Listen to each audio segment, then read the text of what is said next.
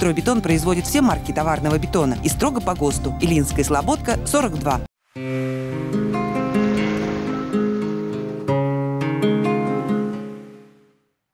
Клинский район нуждается в квалифицированных медиках. Самые горячие вакансии для врачей скорой помощи, участковых терапевтов и педиатров. Работа в одной из ведущих больниц области, социальная ипотека и служебное жилье – серьезный стимул для переезда в Клинский район.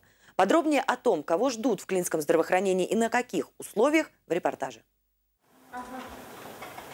В палатах хирургического отделения всегда под завязку. Операции поставлены на поток. Простые, сложные, высокотехнологичные. Пациенты не только из Клина, почти со всего северо-запада Подмосковья. Статус областного медучреждения к этому обязывает.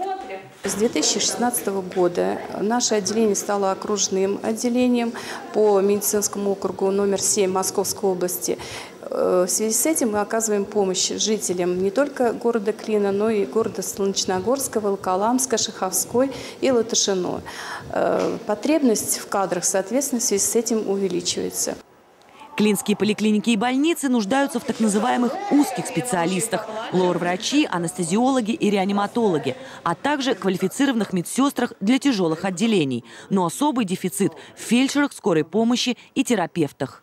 Сейчас Минздрав разработал цифру по привлечению кадров, которые вот, ну, нужны и необходимы. По Клинскому району это 57 человек.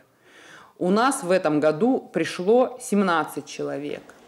Екатерина Старикова – одна из молодых специалистов. На работу в Клинскую больницу ее взяли сразу после колледжа. Она – резерв и потенциал нашей КГБ.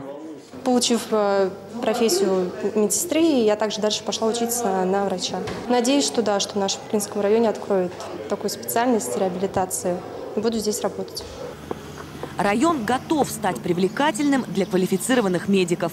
Во-первых, предоставить работу в соответствии с современными медтехнологиями. Специалисты онкологического отделения Высоковске уже оценили возможности нового корпуса и медоборудования. Год назад почти одновременно сюда пришли три врача.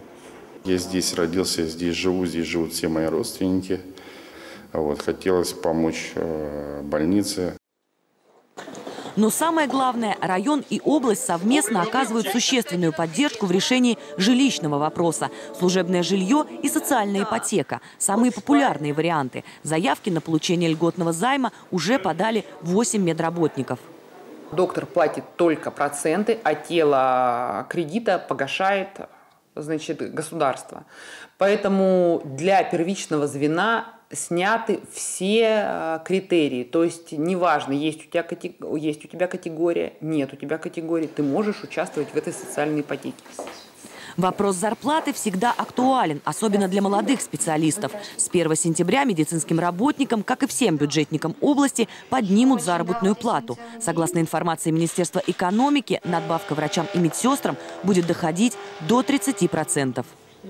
Олеся Торбенко, Максим Максимов, Юлия Левицкая. Новости дня.